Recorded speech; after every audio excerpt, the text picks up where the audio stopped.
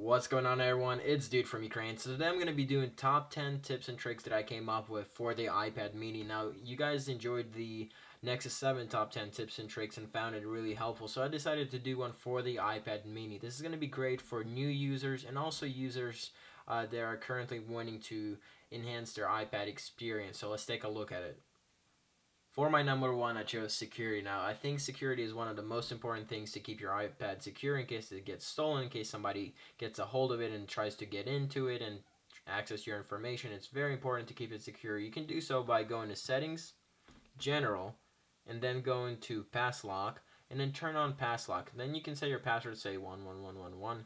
Obviously not a very good password, but you can set it like so and you can change a few other settings here. You can turn it off here as well. We'll go back to home screen. We'll put it to sleep. When you unlock it, looks the same. You slide and then it I ask you to enter the four-digit passcode. And it's a great way to keep the intruders away from your iPad if in case they get hold of it. Now another way is to find my iPhone. Download this app. It's free. It's by Apple. Also set up your iCloud as well. So then you can log on to iCloud.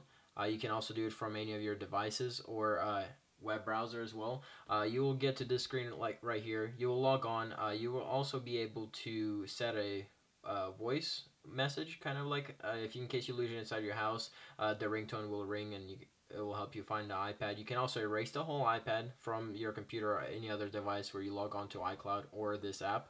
Um, you can also see where the iPad is located as long as it's online. And also you can uh, send a message saying hey please return it to this address or call this number. It's a great way to keep your ipad protected and secure. For my number two, I chose Spotlight. Spotlight is a great way to navigate through the iPad and also find the things you're looking for, like contacts, apps, um, web browser like Wikipedia and that type of stuff. It's an amazing way to find things that you cannot find on your iPad or don't remember where you put something. It's a great way to navigate to the iPad. As you can see, you can just start typing like music and it will find the uh, app music. You can also search the web, search Wikipedia. It's a great way to do that. I will post all of the things you can do in the description, in my video description, so you can see exactly what all you can do with that. For number three, I chose folders. Now, folders is a great way to keep yourself organized. I see still there's a lot of people out there that do not use folders. They have a ton of pages on their iPad, like three, four pages, just all apps spread out everywhere. It's just a difficult way to find things when you're trying to find something, and it's just not organized. Now, folders an easy way uh, to keep yourself organized by just tapping on the app, holding it down. As you can see, apps will start shaking.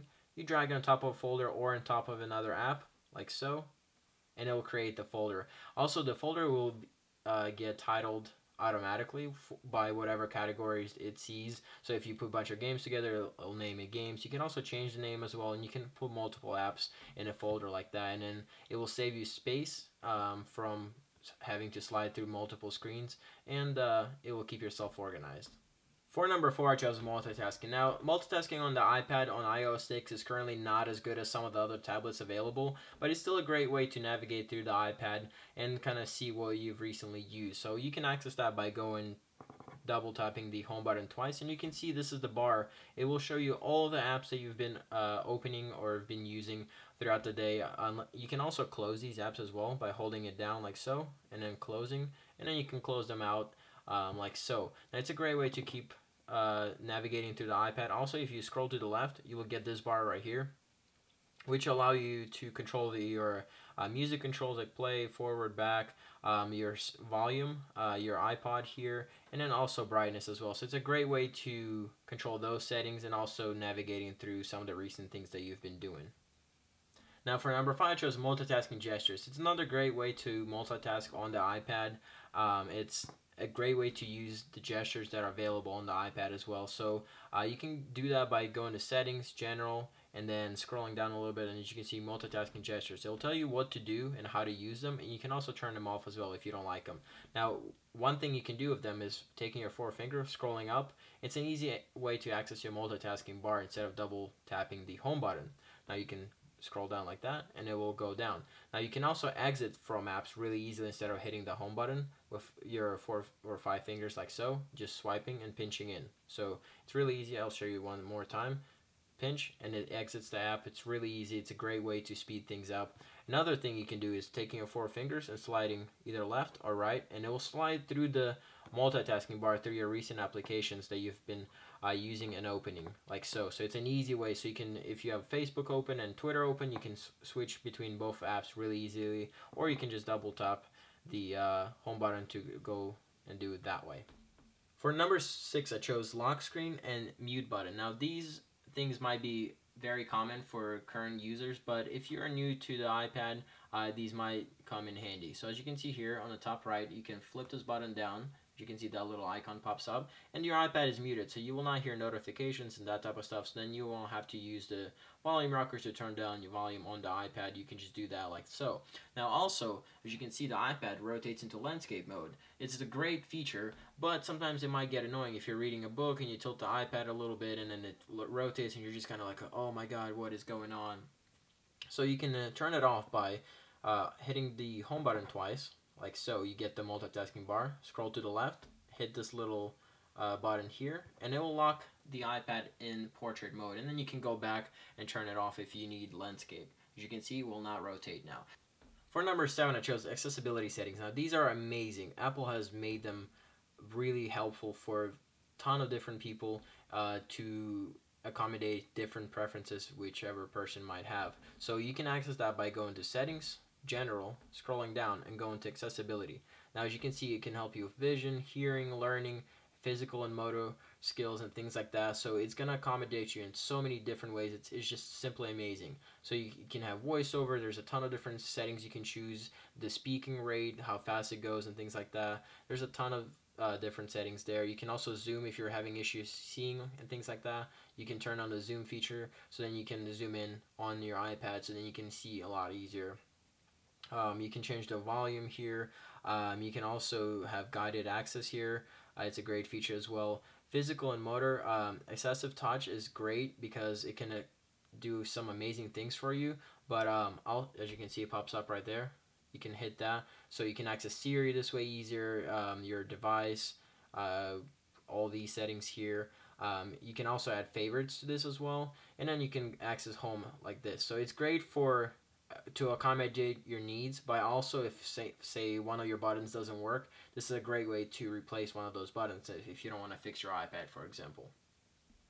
For number eight, I chose screenshot. Now, screenshot is an amazing feature. You can take pretty much a screenshot, a picture, of your screen. So if you're found a recipe online, you can take a screenshot of it so you don't have to copy and paste it or write it down or something like that. It's a great feature. Now, you can do that by at the top, there's a sleep wake button and there's a home button. If you press them at the same time, as you can see, your screen will flash like so, and it took that picture. Now you can go to photos and access that picture that you just took. As you can see, I just took a picture of my screen.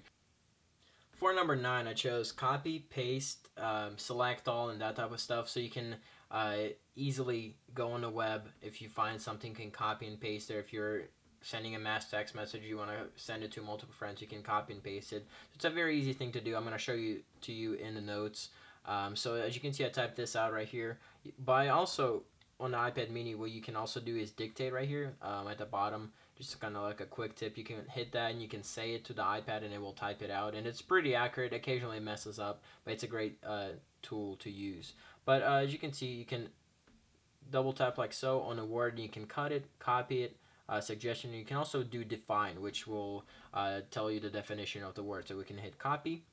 Now we'll find a spot. We'll return, say right here, tap once. And you can see we can select, select all, or paste, and we can paste it like so. So that's how you copy and paste. It's a very uh, helpful tool. I always use it. it. And for number 10, I chose reading list. It's a great feature to use uh, if you're reading a lot of articles and things like that on the web, and then you know you're going to be traveling, you're not going to have internet connection or something like that, you can save those articles and read them while you're offline. It's a great feature. Now you can go to Safari, for example. I opened up a page here on MacRumors. Uh, it's a great uh, blogging site. Now how you can do that is by going like hitting this little arrow right here by the web browser. Um, then we can hit add to reading list it will quickly add it to the reading list. While it's doing that, um, you can also hit reader here and kind of go into this view here so it's a lot easier to read and, and not see all the ads and things like that. So it's a, another uh, quick helpful hint. And then you can hit this little book here. And as you can see, there's a few different features here like bookmarks, recently read, and things like that. And then there's reading lists right here, the glasses. Now we'll turn off our Wi-Fi real quick, and then I'll show you that it still works while we're offline. See, the Wi-Fi is off. We're gonna go back to Safari. We can refresh this page here. As you can see, it's not working because there's no internet connection. But we can go to back to reading list. Since it's saved on the reading list, we can still read the article and things like that. So it's a great way to read things offline while uh, you're traveling or just whenever you don't have an internet connection. And as a bonus, I decided to add this uh, little quick tip as well. Um, you can download the Kindle uh, app from Amazon. Um, it's actually just going to the Apple's App Store uh, searching right here at the top right, Kindle, that's how you actually search apps in the App Store in case you didn't know. And then uh, just finding the app, downloading it, you'll type in your you know iTunes password and information, and things like that. Once you download, it's a free app. You can open it, you can log in with your Kindle account, so you can access all, your previous books you downloaded on your Kindle and things like that. And then also the library is just huge comparing to the Apple's uh, bookstore. So it's a great way to read more books and also access your previous books that you have from your Kindle. I believe you can also download the Barnes and Noble bookstore as well. So it's a great way uh, if you love to read and things like that. Uh, you can do that. It's a free app. Download it and then you can access to your previous library. So thank you guys so much for watching. I hope you enjoyed this video. Hopefully it will help you out. Let me know uh, in the comments uh, what tips helped you out. If you have any other tips for other users as well, maybe somebody will read your comment.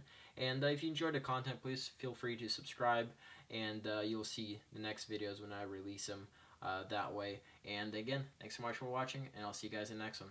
Peace.